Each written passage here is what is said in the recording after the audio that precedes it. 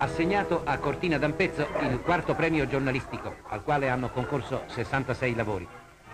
La giuria, composta di valenti scrittori e giornalisti, ha assegnato i premi per i migliori articoli ispirati alla vita di Cortina ad Alfonso Comaschi ed a Massimo Brusati. Il pubblico ha danzato fino alle ore piccole in onore dei vincitori.